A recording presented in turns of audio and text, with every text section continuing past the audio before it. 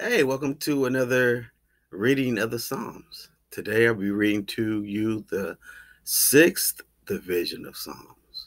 Praise God. Psalms 1 6, verse 1 reads, O Lord, rebuke me not in thine anger, neither chasten me in thy hot displeasure.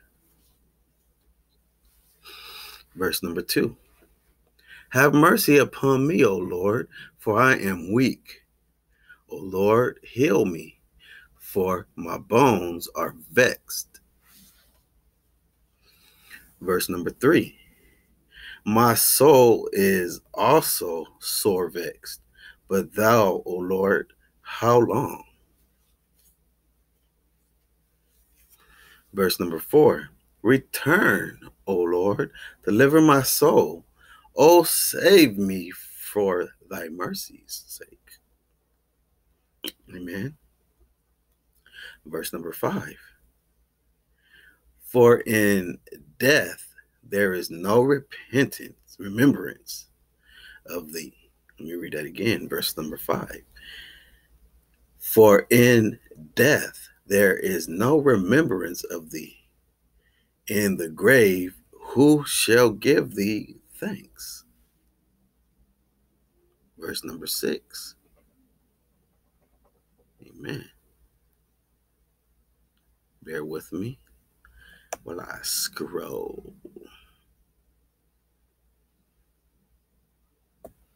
Verse number six.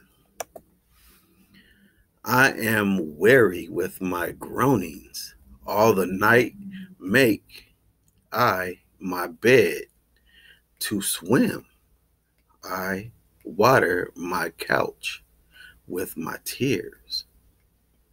Verse number seven. Mine eyes is consumed because of grief. It waxed old because of all mine enemies. Verse number eight. Depart from me, all the workers of iniquity, for the Lord hath heard voice of my weeping. Verse number nine.